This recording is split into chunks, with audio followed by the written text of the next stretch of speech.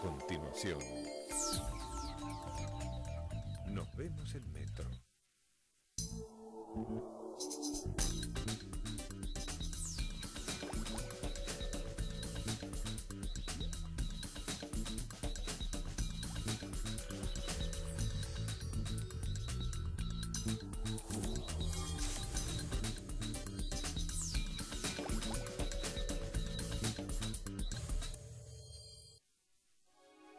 Programa ha sido declarado de interés cultural por la Secretaría de Cultura de la Presidencia de la Nación, el Ministerio de Cultura del Gobierno de la Ciudad Autónoma de Buenos Aires y la Honorable Cámara de Diputados de la Nación. Auspician este programa En Credicop pensamos que hay tantos sueños como argentinos. Como ella, que más que con una casa, sueña con un hogar. O como él, que quiere crecer con su pyme. O como vos, que simplemente querés realizar tus deseos. Créditos Credicop. Arma tu crédito. Arma tu sueño. Banco Credicop Cooperativo. La banca solidaria.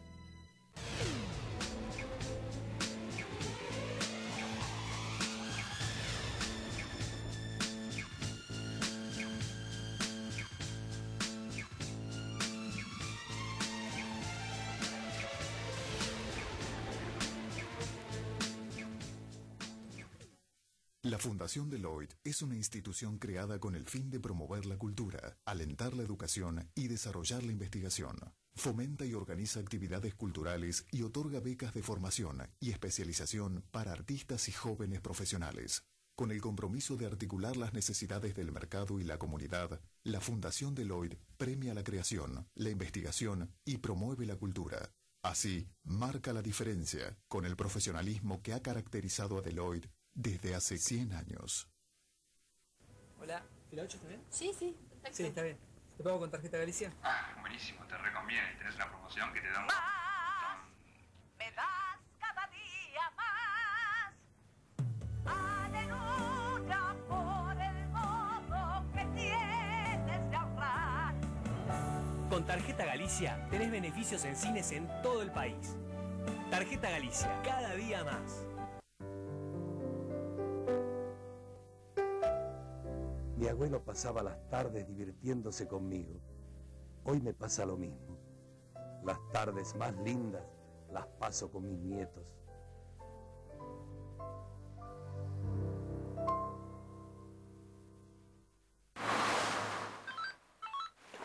Si cobras tu sueldo en el Ciudad, tenés un crédito Ciudad Veloz. Hasta 10 mil pesos y en 48 horas. Banco Ciudad. Te quiere ver crecer. 0800 22 20 400.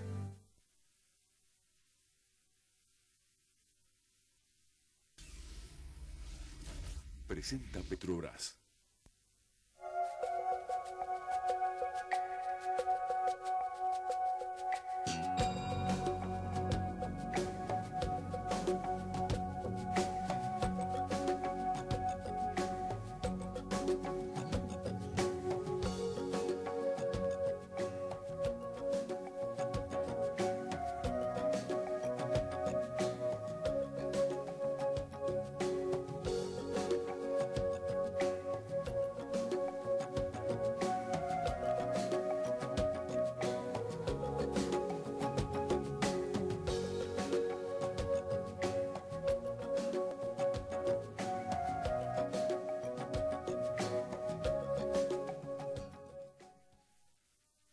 Hola Patricia, hola amigos, soy Julio Zapolnik y comenzamos aquí Cultura al Día.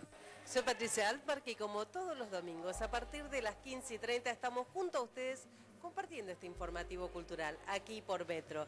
Y comenzamos el programa con una recomendación. No pueden perderse de ir al Centro Cultural Recoleta. Se acaba de inaugurar la muestra Carlos Taís. Sí, una exposición que ya desde la entrada hay una ambientación del paisaje, de, un jardín, de una intervención. La puesta museográfica donde las paredes, ese, ese verde inglés que nos recibe, en los ploteados de, de los dibujos, de los eh, objetos personales que tenía Taís, realmente es un, un- un placer recorrerlo, ver la confianza en el país, ver la proyección de su pensamiento, es imperdible esta exposición. Realmente es imperdible porque, bueno, usted se va a encontrar con un gran profesional que amó la Argentina, un francés que vino a la Argentina, se quedó y desarrolló muchísimos parques que ustedes se sorprenderían de saber muchos de ellos. Por ejemplo, el botánico. Así que vamos a comenzar nuestra primera nota con el ministro de Cultura del Gobierno de la Ciudad de Buenos Aires, Hernán Lombardi.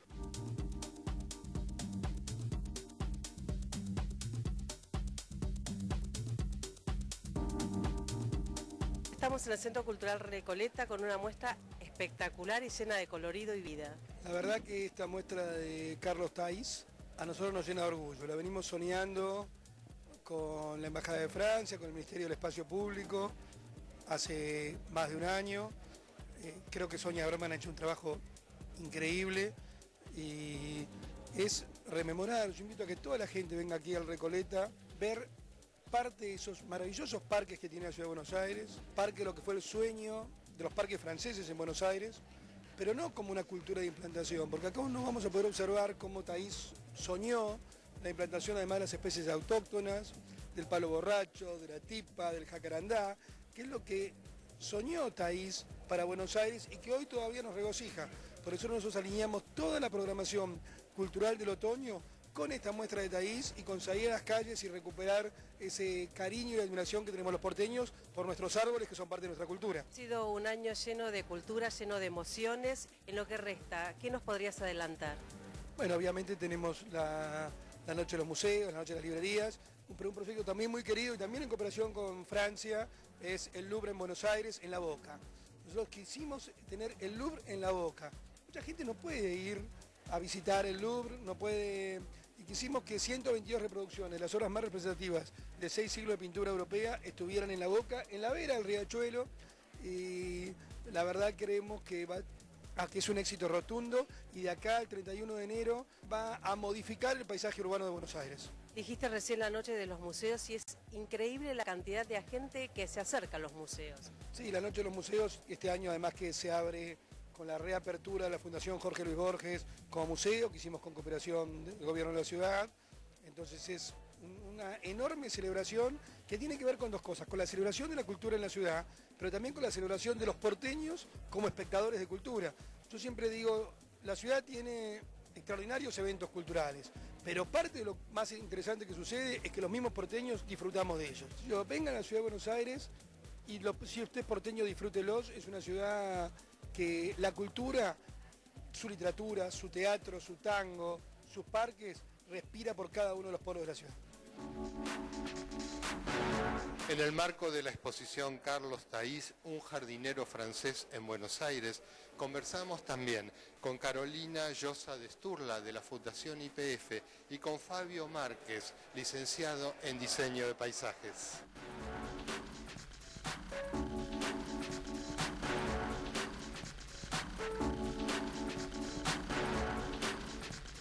¿Apenas conocieron el proyecto? ¿Enseguida le dieron el apoyo?